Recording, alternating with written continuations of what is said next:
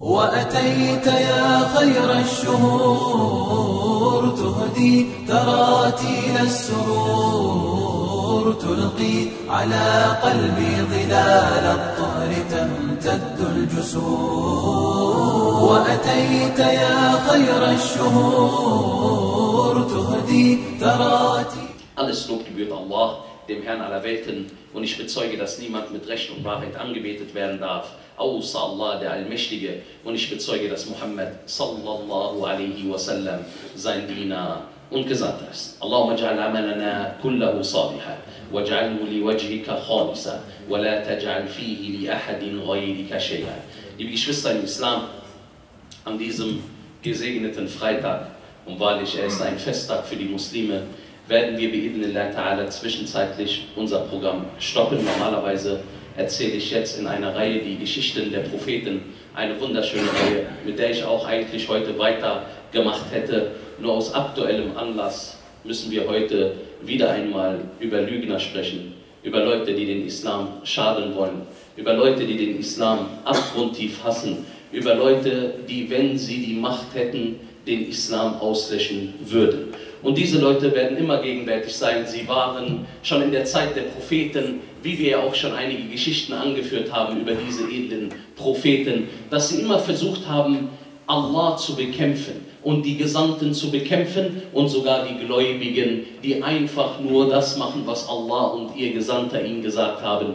Diese waren immer ihre Feindbilder gewesen und sie waren bereit, diese Leute sogar zu töten in den jeweiligen historischen verschiedenen Epochen. Möge Allah Azza wa Jal unsere Muslime in der Dunya und in der Akhira schützen. Allahumma amin.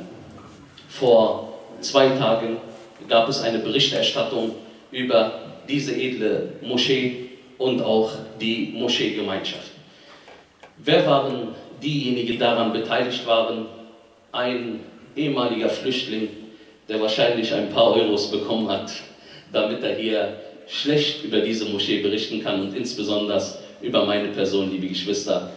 Und so ist das. Manche Leute verkaufen ihre Akhira, ihr Jenseits für ein paar Euros. Man bekommt eine kleine Aufenthaltserlaubnis, vielleicht einen schönen Wagen, vielleicht eine Wohnung und dann wird man zum Schluss bei Allah Reue zeigen dafür, dass man so einfach sein Paradies verkauft hat für einen geringen Preis. Allah Azza wa hat diese Leute schon benannt. Daher lasst uns heute in den nächsten Minuten darüber sprechen, was die Anschuldigungen gegen die Muslime hier sind. Die Sahaba-Moschee existiert seit 2010 und seitdem war ich auch der Imam von dieser Moschee. Und wir haben vorher schon Dauer gehabt, nur nicht in dieser Moschee, weil sie bislang nicht etabliert war. Und so haben wir, Alhamdulillah Rabbil Alamin, mit der Gunst Allahs diese Moschee geöffnet. Von Anfang an war diese Moschee im Fokus der Sicherheitsbehörden und von anderen Leuten. Was war der Grund? Der Grund war ein ganz einfacher. Wer die Wahrheit spricht und er gehört zu Ahlus Sunnah und er sagt, was Allah und sein Gesandter sagen und er praktiziert seine Religion, dieser ist auf der Abschussliste. Und ich möchte euch, liebe Geschwister, nur eine Sache näher bringen. Dieser Begriff Salafismus, der eingeführt wurde, dieser Begriff ist nur ein Kampfname dieser Medienlandschaft und von einigen Politikern. Warum? Sie wollen damit einfach nur differenzieren zwischen den sogenannten Salafisten und dem übrigen Islam. Und dabei wissen nicht diese Ärmsten, dass der Weg der Salaf in unserer Religion begründet ist. Salaf bedeutet Vorfahre und unser Vorfahre in erster Linie war der Prophet Muhammad sallallahu alaihi wasallam, der selbst den Begriff benutzt hat. In einer Überlieferung bei Imam Muslim sagte er zu Fatima radiyallahu anha wa ardaha, seiner Tochter, kurz bevor er gestorben ist, er sagte, Ni'ma salafi ana laki. Was für ein guter Vorfahre ich für dich bin. Subhanallah. Ist jetzt das, was der Prophet sallallahu alaihi wasallam gesagt hat, eine Sekte?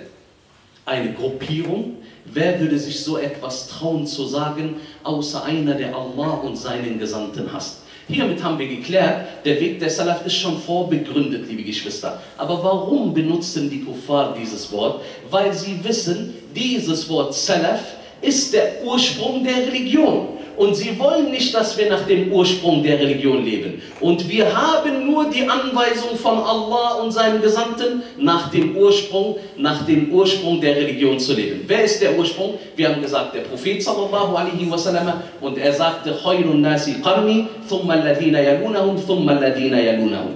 Die Besten sind in meiner Generation, das heißt die Sahaba. Dann die ihnen folgen, das heißt die Schüler der Sahaba, die Tabi'in. Und die ihnen folgen, die Schüler der Schüler der Sahaba. Das heißt, hier wird euch klar, liebe Geschwister, dass diese Leute nur eine einzige Absicht haben mit diesem Begriff, dass sie die Religion im Ursprung eliminieren wollen. Das heißt, sie wollen, dass wir allem folgen, außer dem, was diese Religion uns geboten hat. Und Allah Azza wa Jal sagt, وَالسَّابِقُونَ الْأَوَّلُونَ مِنَ الْمُهَاجِرِينَ وَالْأَنصَارِ وَالَّذِينَ اتَّبَعُوهُم بِإِحْسَانٍ رَضِيَ اللَّهُ عَنْهُمْ وَرَضُوا عَنْهُ Und diejenigen unter den Auswanderern, die Ersten, die Sahaba. Und diejenigen unter den Ansar, den Helfern, Sahaba. Allah Azza wa Jal, höre, was er über sie sagt. Diejenigen, die ihnen auf beste Art und Weise gefolgt sind. Allahu Akbar. Wen? Den ersten oder den letzten? Die ihnen, den Sahaba, auf beste Art und Weise gefolgt sind. Das heißt, die Tür ist immer für uns offen, Alhamdulillah. Dass wir nach dem Vorbild unserer edlen Sahaba agieren können, liebe Geschwister. Möge Allah Azza wa uns nur auf diese Fußstapfen befestigen. Allah ist mit ihnen zufrieden und sie sind mit Allah zufrieden. Sie sind doch unsere Salaf. Salaf as-Salih, das sind unsere tugendhaften Vorfahren. Wie können diese Leute, die den Islam abgrundtief hassen, diese Leute in Verruf bringen, indem sie Salafisten sagen? Ich sage euch wie, weil sie wissen, dass das die Wahrheit ist. Deswegen versuchen sie diesen Begriff zu dämonisieren, wie ein Dämon darzustellen, damit die Leute Angst haben vor diesem Begriff. Und dieser Begriff ist nichts als unser Ursprung der Religion. Eine Religion braucht einen Ursprung. Ohne Ursprung gibt es keine Religion. Was war der Ursprung von Musa a.s.? Waren das nicht diejenigen von Bani Israel, die mit ihm waren? Und auch von Jesus, von Isa a.s., die Jünger, die mit ihm zusammen waren? Wer traut sich zu sagen, dass das nicht die besten Leute sind und diejenigen, die am meisten Verstand und Wissen gehabt haben über die Religion? Sie haben praktisch diese Offenbarungszeit live miterlebt. So auch wie die Sahaba anhum dieses mit dem Propheten sallallahu alaihi wasallam getan haben. Jetzt wissen wir erstmal, warum sie diesen Begriff Salaf fashion. Nummer eins. Nummer zwei, dann gab es einen von diesen Leuten, von diesen armen Flüchtlingen, und mit Flüchtlingen meine ich ihn speziell, nicht die Lage der Flüchtlinge, weil er hat sich für ein Butterbrot kaufen lassen. Dann kam er hier rein und er hat sechs Monate in dieser Moschee recherchiert. Natürlich mit einer versteckten Kamera, ohne dass er uns was gesagt hat. Diese Person hat nur ein Ziel gehabt, dass er dieser Moschee schadet und insbesondere meiner Person. Schaut mal, wie seine Art war. Und das sind nur Heuchler, die so etwas machen. Er sagte, ich habe mir ein Bart wachsen lassen und ich habe extra viel gebetet, damit die Leute denken, ich bin zur Religion zurückgekehrt.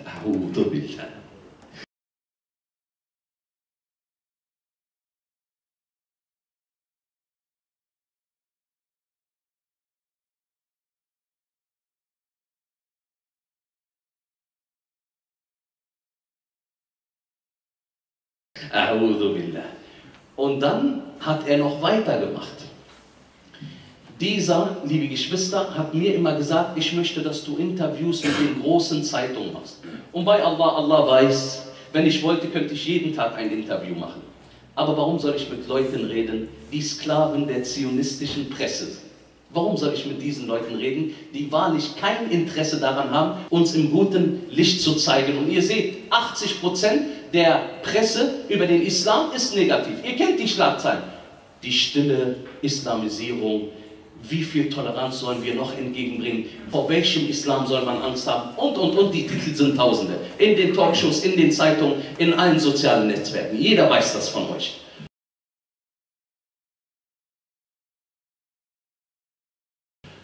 Deswegen rede ich nicht mit ihm. Und er sagte zu mir, ich möchte, dass du mit den Großen redest, damit du auch deine Position zeigst, weil es ist Unrecht, was man euch gegenüber tut. Und er hat mit diesen Leuten zusammengearbeitet.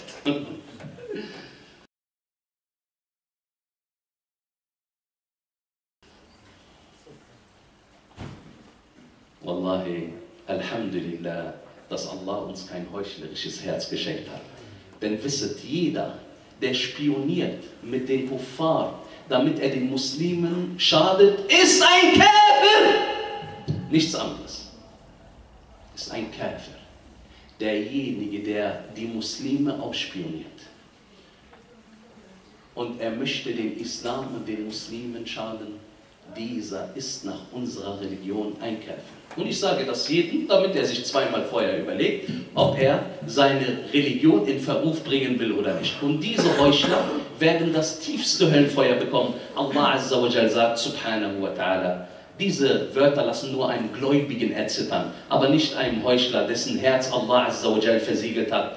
Innal munafiqina fi darkil asfal minan nar. Wahrlich, die Heuchler sind am untersten Grund des Bodens in Jahannam. Das heißt, es gibt keine schwerere Tiefe als diese Leute, die in Jahannam verbringen werden. Sie sind schlimmer dran als diejenigen, die ungläubig gewesen sind, weil nicht jeder Käfer ist ein Heuchler, aber jeder Heuchler ist ein Käfer. Das ist erstmal die allgemeine Situation. Was haben diese Leute gemacht? Sie haben uns in einem Rampenlicht gestellt, dass sie der Bevölkerung zeigen wollten, dass wir Monster sind. Und so haben sie, liebe Geschwister, ohne unser Wissen aufgenommen. Und ihr wisst und ihr kennt alle unsere Hausregeln. Wir nehmen schon die Chutba auf und jeder weiß, dass jede Chutba im Netz erscheint. Jeder weiß das. Und diese Chutba sind alle in deutscher Sprache. Als sie das im Bericht gebracht haben, da hat man nicht oder kaum meine Stimme gehört, sondern man hat eine übersetzte Stimme gehört. Habe ich nicht auf Deutsch geredet? Warum muss das übersetzt werden? Nochmal ins Deutsche. Weil die Leute geschnitten haben und sie sind Profis und wissen, wie sie schneiden. Und das ist nicht das erste Mal, dass so etwas passiert. Alhamdulillah, solange wir geprüft werden, liebe Geschwister, bis dass wir auf dem richtigen Weg sind. Wallahi, erst wenn du den Leuten gefällst, die den Islam hassen, dann wisse du bist auf dem übelsten Weg. Allah Azza wa Jal sagt, وَلَن تَرْضَى عَنْكَ الْيَهُودُ وَلَا النَّصَارَى حَتَّى تَتَّبِعَ مِلَّتَهُم Die Juden und Christen werden niemals mit dir zufrieden sein, bis du ihrem Glauben folgst. Was denkst du jetzt, wenn sie mit dir zufrieden sind? Auf welchem Weg du dich befindest, du Armer, du Miskin, einer, der seine Religion verkauft hat. Du wirst niemals diese Zufriedenheit bekommen. Wer sagt das? Allah Azza wa Jal. Und diese Leute verlieren zweimal, liebe Geschwister. Und ich will euch nur eins sagen. Diese Leute, die reingekommen sind ohne unser Wissen und ohne unser Wissen aufgenommen haben, machen sich strafbar nach ihrem Gesetz. Aber interessiert sie gar nicht. Und das Merkwürdige ist, jede Zeitung weiß, dass das strafbar ist. Und ich möchte euch einfach etwas von der Anwaltskammer vorlesen. Grundsätzlich ist die verdeckte und heimliche Recherche sowie die Informationsgewinnung der sogenannten Undercover-Journalismus unzulässig und nicht von der grundrechtlich verankerten Pressefreiheit geschützt. Das heißt, sie haben Haram nach ihrer Religion gemacht. Das ist verboten. Einer darf sich nicht undercover-mäßig hier einschleichen, ohne dass er sich selbst benennt, wer er ist. Hier schleusen wir sechs Monate lang unseren Undercover-Reporter ein. Er ist selbst Muslim und findet heraus, dass Abul Bara nicht alles auf Facebook preisgibt. Dieser Teil der Freitagspredigt etwa wurde nicht im Internet veröffentlicht. Die Kufa haben jeden einzelnen Cent ausgegeben gegen die Religion Allahs. Daraufhin werden sie nicht nur Reue zeigen, sie werden besiegt werden. Eine Androhung von Allah, ein Versprechen von Allah. Und diejenigen, die Kufa sind, werden in das Höllenfeuer geworfen. Und wenn Allah eine Sache bestätigt, dann sagst du nicht, ich habe eine andere Meinung. Willst du Allah der Lüge bezichtigen? Allah sagt das.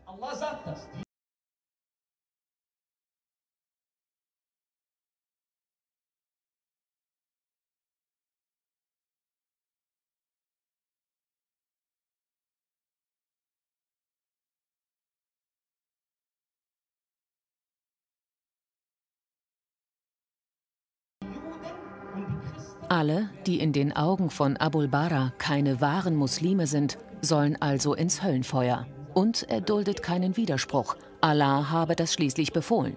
Der Imam lässt keine Gelegenheit aus, gegen die für ihn Ungläubigen zu hetzen. Aber warum schmeißen sich alle Zeitungen jetzt auf diesen Bericht? Weil er gegen uns ist. Hat sie jetzt interessiert, dass es diese Art von verdeckten Journalismus gibt? Interessiert sie nicht, weil dieser Bericht ist für sie dienlich, liebe Geschwister. Hören wir mal aufgrund dieses Berichtes, was eine sogenannte Frau Susanne Schröter, Expertin für Islamfeindlichkeit, äh, Islamismus-Expertin äh, vom Frankfurter Forschungszentrum, hört, liebe Geschwister, was sie sagt. So sei beispielsweise der Berliner Imam Abul Bara ihrer Ansicht nach einer der gefährlichsten islamistischen Hetzer. Deswegen seit acht Jahren, oder Afan, seit neun Jahren, die wir hier sind, stehe ich immer noch auf der Bühne und äh, kann auf dieser Welt frei rumlaufen, weil ich einer der gefährlichsten bin. Der als Wanderprediger durch viele Moscheen in Deutschland tingele. Das stört sie, dass wir den Leuten unsere Liebe und unsere Barmherzigkeit in ganz Deutschland mitteilen. Das ist ein großer Schaden für sie, die den Islam hassen. Und dann sagt sie, der sogenannte Hassprediger sei jedoch nicht dumm. Soll ich mich dafür bedanken? Sagte sie, er weiß, wann er sagt, tötet die Ungläubigen, landet er im Gefängnis. Das heißt, wenn ich sage, tötet die Ungläubigen, dann lande ich im Gefängnis. Wenn er aber nur zum Hass aufruft und jemand anders tötet, dann ist er nicht mehr verantwortlich. Mit anderen Worten, eigentlich sage ich den Leuten, tötet die Ungläubigen. Habt ihr auch schon tausendmal von mir gehört. Äh, das sind alles strafbare Delikte, ja? Dass sie über uns etwas sagt, was nicht stimmt. Walhamdulillahi Rabbil Alamin. Ich weiß nicht, vielleicht haben wir über 2000, 2500 Unterrichte. Ich fordere diese, wie heißt die, Schröter heraus, dass sie uns nur einen einzigen Beweis bringt, und es sind genug Videos, Alhamdulillah, dass wir zum Töten der Ungläubigen aufgerufen haben. Weil sie sagt, eigentlich mache ich das indirekt. Dann bitteschön. Warum diese Schmierereien und nicht diese Gradlinigkeit? Warum sagt man, wir rufen zum Töten der Ungläubigen auf? Nein, vielmehr sollten Sie sich unsere Khutbah anhören, als ich über das Übel der Muslime geredet habe, die nicht mit den Nicht-Muslimen umgehen können. Da haben wir klar genannt, dass es verboten ist, den Nicht-Muslimen einen Schaden zuzufügen. Aber sowas interessiert nicht, weil dieses ist gegen der Botschaft, die sie verkünden, liebe Geschwister. Wenn ein Kafir in unseren Ländern, in unseren islamischen Ländern ist, oder umgekehrt, du bist in einem Land der Kuffar und du hast die Befugnis bekommen, hereinzukommen in das Land, und der Kafir hat die Befugnis bekommen, in unser Land hereinzukommen, so ist er ein Mu'ahad, er ist jemand, der geschützt werden muss, dem man nicht gegenüber Unrecht antun darf. Höre den Hadith vom Gesandten Muhammad sallallahu alaihi wasallam. Der sagte, man qatala mu'ahadan lam yarih raihat al-jannah. Derjenige, der einen tötet, mit dem man einen Friedensvertrag hat. Was bedeutet Friedensvertrag? Wir kommen zum Beispiel nach Deutschland herein. Dieses Hereinkommen in Deutschland bedeutet, dass wir ab jetzt einen Friedensvertrag mit den Leuten haben. Das bedeutet das. Oder genauso gut kommt ein Kafir zum Beispiel nach Saudi herein. Oder er kommt in die Türkei herein. Es gibt einen Friedensvertrag. Man darf diesen Mann nicht anfassen. Und dann haben wir auch einen der besten Politiker, das heißt, das sind Leute, die wollen sich profilieren, damit sie überhaupt äh, bekannt werden bei den Leuten. Der heißt Christoph de Vries. Er betrachtet die Situation mit Sorge und fordert ein härteres Vorgehen wenn Hetze verbreitet wird, Meinungen, die sich gegen unsere freiheitlich-demokratische Grundordnung richten, dann müssen diese Hassprediger aus dem Verkehr gezogen und angeklagt werden. Ich komme jetzt dazu. Und dann war der ganze Bericht nur abgeschlossen mit einem Wort. Und darum ging es letztendlich. Das heißt, dieser ganze Bericht, der zusammengeklebt und vom Psychologen genauestens bearbeitet wurde, ging nur letztendlich um eine einzige Botschaft. Die sagte dieser CDU-Politiker, wenn wir es zulassen, dass 100.000 Jugendliche Woche für Woche Koranschulen besuchen und dort mit Hassbotschaften indoktriniert werden, sind sie hinterher auch Salafisten und Hassprediger zugänglich. Das war es. Wisst ihr, was er meinte? Der Koran soll verboten werden. Das ist alles. Dann sagt es doch. Sagt! Der Koran soll verboten werden. Und wenn ihr das klar sagt, so wie die früheren Generationen, die ersten von uns hierher gekommen sind und für fünf Mark die Toiletten geputzt haben, da waren sie noch gute Leute. Jetzt aber, wo sie ihre Religion ausüben wollen, sind sie keine guten Leute mehr. So wie die ersten Generationen von den Ausländern herkamen, um für fünf Mark zu arbeiten und die Toiletten zu putzen, so sind wir bereit, die jahrelang hier sind, unser Geld hier zu lassen, damit wir, wenn sie sagen, dass der Koran verboten wird, in ein anderes Land gehen.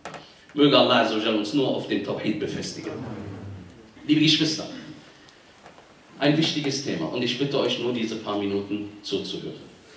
Sie sagen, der Koran ist nicht gedeckt durch die freiheitlich-demokratische Grundordnung. Wunderschönes Wort, hört sich intelligent an. Was meinen Sie damit? Der Koran ist hier nicht passend. Jemand, der nach dem Koran lebt, kann hier niemals integriert sein. Wir wollen in diesen kurzen Minuten jetzt erklären, ist die Tora das Buch der Juden und ist die Bibel gedeckt durch die freiheitlich-demokratische Grundordnung. So heißt es im Talmud, das Buch der Juden. Der Talmud, liebe Geschwister, ist die mündliche Erklärung von der Taurat. Die Taurat ist das, was Allah auf die Juden herabgesandt hat. Aber wie ihr wisst, haben sie sie gefälscht. So, und im Laufe der Zeit haben Leute die Taurat erklärt. Und diese Erklärung, sozusagen der Scharf von der Taurat, die Erklärung von dem Taurat, ist der Talmud. Danach richten sich die meisten Juden. Was steht in diesem Buch, At-Talmud? Das Blutvergießen ist bei einem Nichtjuden gegenüber einem Juden strafbar und bei einem Israeliten gegenüber einem Nichtjuden straffrei. Bedeutet, wenn ein Jude einen Nichtjuden tötet, dann ist das legal. Aber wenn ein Nichtjude einen Juden tötet, dann ist das verboten. Das steht in Synhedrin 57a. In einer, anderen, in einer anderen Stelle von diesem Buch finden wir in Abu Sarah 26b, ihr aber seid meine Schafe, die Schafe meiner Weide, Menschen seid ihr. Ihr heißt Menschen, nicht aber heißen die anderen Völker Menschen, sondern Vieh, Tiere. Das heißt, jeder, der kein Jude ist, heißt im Talmud ein Vieh, ein Tier. Freiheitlich, äh, demokratisch, freiheitliche Grundordnung. Passt auf. Man sagt im Talmud, den Besten der Goyim, Goyim ist der Nichtjude, sollst du töten. In Aboda Sarah, 26b.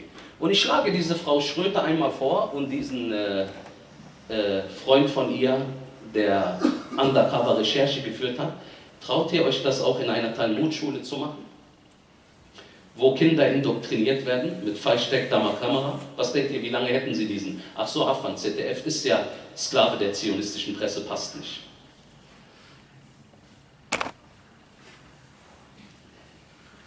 Alleine im Traktat Abu Dar Sarah über 500 Mal, liebe Geschwister, wird auf Nichtjuden Bezug genommen. Und dieses auf schändlichste Art und Weise. Das heißt, wer Nichtjude ist, und das heißt, dass diese Leute gar keine Ermahnung haben, gut zu den Menschen zu sein, sondern untereinander gelten die Gebote bei den Juden, aber nicht mit anderen. Zum Beispiel die Juden, selbst einander gegenüber machen sie keinen Zinshandel, aber mit den anderen Leuten. Das war die Taurat und das sind nur einige Auszüge. In der Bibel heißt es, und dieses Land ist ja christlich geprägt, wenn dich dein Bruder, der dieselbe Mutter hat wie du, oder dein Sohn, oder deine Tochter, oder deine Frau, mit der du schläfst, oder dein Freund, den du liebst wie dich selbst, heimlich überreden würden und sagen, lass uns gehen und anderen Göttern dienen, die du nicht kennst, noch deine Väter. Das heißt, er will dich auf eine andere Religion bringen. Wenn jemand zu einem Christen geht, der ihn zu einer anderen Religion bringen will, dann sollst du nicht nachgeben und nicht auf ihn hören. Du sollst in dir kein Mitleid mit ihm aufsteigen lassen, sollst keine Nachsicht für ihn kennen und die Sache nicht vertuschen, sondern du sollst ihn anzeigen. Wenn er hingerichtet wird, sollst du als erster deine Hand gegen ihn erheben, dann erst das ganze Volk. Du sollst ihn steinigen und er soll sterben, denn er hat versucht, dich vom Herrn, deinem Gott, abzubringen. Freiheit, freiheitlich-demokratische Grundordnung. Mit anderen Worten, einer sagt zu einem Christen, wir möchten einen Dialog führen. Wir wollen unsere Position zeigen und du zeigst deine Position. Der sagt, dich muss man steinigen nach der Bibel. Dich muss man steinigen. Und dieses steht im fünften Buch von Mose 13. Und in Deuteronium steht bezüglich der Steinigung von ungehorsamen Kindern, wenn ein Mann einen störrischen und widerspenstigen Sohn hat, das heißt, der nicht auf ihn hört und nicht auf die Mutter hört, Und wenn sie ihn züchtigen und er trotzdem nicht auf sie hört, dann sollen Vater und Mutter ihn packen vor die Ältesten der Stadt und die Menschen des Ortes führen und zu den Ältesten der Stadt sagen, unser Sohn ist ungehorsam, er hört nicht auf unsere Stimme, er ist ein Verschwender und Trinker, dann sollen alle Männer der Stadt ihn steinigen und er soll sterben. Freiheitlich, äh, wir haben das Wort vergessen. Deuteronium 22 und äh, dann, liebe Geschwister, im Buch von Levitikus steht, die Todesstrafe ist gegen vielerlei Arten von Verbrechen, gegen den Geschlechtsverkehr mit Verwandten, gegen die Homosexualität, gegen den Ehebruch und gegen die Wahrsager. Lässt sich das mit dem Grundgesetz äh, vereinen? Man will die Muslime in einem Licht bringen, dass unser Koran, Alhamdulillah, das ist das Buch eines jeden Muslims. Die Kuffar werden dir sagen, ja, aber wir praktizieren unsere Bücher nicht so, das ist euer Problem. Wir nennen uns Muslime, weil wir den Koran und die Sunna haben. Deswegen halten wir uns an diese Bücher. Aber wenn ihr euch nicht daran halten wollt, das ist wahrlich euer Problem. Aber komischerweise steht ihr zu dieser Religion. Und wenn ihr zu diesen Religionen steht und ihr sagt, wir sind eine christlich-jüdische Kultur, dann sollte man auch zu diesen Wörtern stehen. Und dann sagt man auch ehrlich, auch unsere Bücher haben nichts mit dem Grundgesetz zu tun. أقول قولي هذا واستغفر الله لي ولكم فاستغفروه إنه هو الغفور الرحيم. الحمد لله رب العالمين والعاقبة للمتقين ولا عدوان إلا على الظالمين وأشهد أن لا إله إلا الله وحده لا شريك له وأشهد أن محمدا عبده ورسوله Die Schlussfolgerung, liebe Geschwister, im Koran steht das Wort Kuffar, richtig. Und wir haben das tausendmal erklärt. Wir haben gesagt, Kuffar, dieses Wort, Einzahl Kafir, Mehrzahl Kuffar, dieses Wort stört sie. Warum? Weil sie wissen, dass sie diese Glaubensgrundlage haben. Sie wissen das. Deswegen stört sie dieses Wort. Aber komischerweise, Sie dürfen uns Salafisten nennen, aber wir dürfen sie nicht Kuffar nennen. Auf jeden Fall, was bedeutet Kafir? Kafir bedeutet jemand, er versteckt die Wahrheit. Er versteckt die Wahrheit. Wie ein Bauer seinen Samen sät und ihn bedeckt mit der Erde. Das ist Kafir. Und diese Leute verstecken die Wahrheit. Deswegen heißen sie Kafir. Das ist ein Ursprungszustand. Fragen wir mal den Papst, was für ihn ein Muslim ist, der sagt, Billah, Jesus ist nicht der Sohn Gottes. Was ist dieser für den Papst? Bitte schön, kommt dieser ins Paradies? Da haben Sie keine Antwort drauf. Zweite Sache, liebe Geschwister. Allah Azza wa Jal sagt im Koran, Inna dina inda Allahi al-Islam. Wahrlich, die Religion bei Allah ist der Islam. Das sind die Worte Allahs. Warum sagen sie nicht, das steht im Koran, sondern sie sagen, Abul Bara Andersgläubige kommen in Höllenfeuer. Habe ich den Koran geschrieben? Habe ich diese Religion etabliert. Allah Azzawajal sagt im Koran. Heute habe ich euch eure Religion vervollkommnet. Wa und ich habe meine Religion an euch vervollständigt. Wa und ich bin zufrieden mit dieser Religion. Wer hat verfasst, dass die Andersgläubigen in das Feuer kommen? Abul Bara, die Sahaba-Moschee oder Allah Azzawajal. Und solange es Religionsfreiheit gibt, dann müsst ihr euch bitte auch an eure Gesetze halten, dass diese Religionsfreiheit besteht. Allah sagt das im Koran. Und wenn ihr das nicht wollt, dann verbietet den Koran und sagt zu den Muslimen, ihr seid nicht herzlich willkommen. Das ist ja auch der Tenor letztendlich, aber sie trauen sich das nicht öffentlich zu sagen. Insofern haben wir gehört, was dieser äh, möchte gern CDU-Politiker gesagt hat, es geht letztendlich um die Koranschulen, das heißt, wo die koranische Lehre beigebracht wird, das wollen sie nicht. Dann bitte verbietet auch den Talmud und verbietet auch die Bibel, dann seid ihr gerecht für uns. Aber wenn ihr nur auf uns schaut und ihr vergesst eure Bücher und ihr liest nicht mal in euren Büchern, was drin steht, das ist euer Problem. Alhamdulillah, wir zwingen keinen unsere Lehre auf, wir vermitteln nur, wir verkünden. Oder habt ihr einmal gesehen, dass wir jemand ein Schwert an den Hals gelegt haben, der den Islam angenommen hat? Jeder hat das freiwillig gemacht. Die sind sogar zu uns in die Moscheen gekommen, nicht mal wir zu ihnen nach Hause, sondern sie sind zu uns in die Moscheen gekommen. Was heißt, dass sie das freiwillig freiwillig gemacht haben. Was ist euer Problem damit? Und das schlimmste Verbrechen, und ich bitte, dass ihr aufpasst, das schlimmste Verbrechen ist, dass Leute für sich den Islam nicht wollen, aber dann wollen sie es auch für ihr ganzes Volk nicht. Ist das Volk nicht selber in der Lage zu entscheiden? Und das ist letztendlich der Tenor, liebe Geschwister, dass die Politiker und die Medien Angst machen, den Leuten vor dem Islam, damit sie Angst haben vor dem Islam und den Islam nicht annehmen. Taib, ihr nehmt den Islam nicht an, das ist eure Sache, aber lasst doch das Volk selbstständig entscheiden. Oder sind sie zu dumm für euch, dass ihr selber entscheiden müsst? Und das ist letztendlich, was gemacht wird mit den Medien, dass sie sagen, wir brauchen, wir müssen für sie bestimmen, wir müssen für sie entscheiden, damit sie nicht in eine große Katastrophe fallen. Wir sagen, nein, sie fallen nicht in eine große Katastrophe.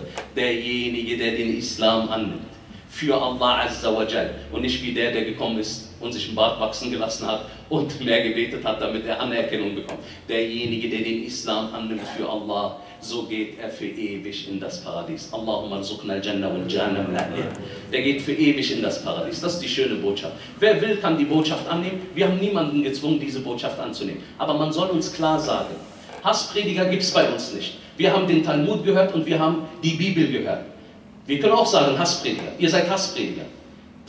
Wenn ihr das auch nicht sagt, das steht in euren Büchern. Das ist euer Problem, wenn ihr es nicht sagt. Wir halten uns an unseren Büchern. Habt ihr ein Problem mit den Muslimen, dann sagt, wir wollen euch nicht in diesem Land hier haben. Dann wissen wir wenigstens, was der Tenor ist. Wir wissen, was ihr klar meint. Aber dieses Herumreden und dann immer wieder einen neuen Begriff, Salafisten und dann äh, Dschihadisten und Extremisten und ich weiß nicht was, das zeigt, dass ihr heuchlerisch in eurer Art gegenüber den Muslimen seid, dass ihr ihnen nicht sagt, dass ihr sie nicht hier haben wollt, die Praktizierenden, sondern dass ihr ihnen auf versteckte und hinterhältige Art und Weise diesen Islam wegnehmen möchtet.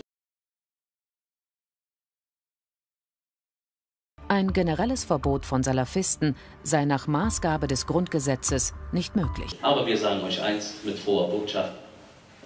Allah lässt gläubig sein, wen er will und er lässt ein Kafir sein, wen er will.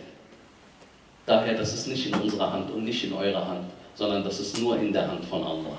Und Allah hat auch schon solche Leute, die übelst gegen den Islam gekämpft haben, später zu Muslimen gemacht. Möge Allah Azzawajal die Leute zum Islam leiten. Möge Allah Azzawajal diese Lügenparoden aus ihren Herzen nehmen. Möge Allah Azzawajal diese Moscheegemeinschaft, die Sahaba-Moschee und alle, die mitwirken in dieser Moschee, möge Allah Azzawajal sie schützen, möge Allah Azzawajal alle Muslime in diesem Land schützen und möge Allah subhanahu wa ta'ala uns nur Allah fürchten lassen und niemals denken, dass diese Leute, die, wenn sie schlecht über uns reden, dass sie uns unsere Versorgung nehmen könnten oder sogar uns vorzeitig töten könnten, bevor Allah Azzawajal dieses für uns geschrieben hat. Wa akhiru da'wana alhamdulillahi rabbil alamin. Allahumma salli wa sallim wa barik ala nabina Muhammad wa ala alihi wa sahbihi ajma'in. وقوموا إلى صلاة.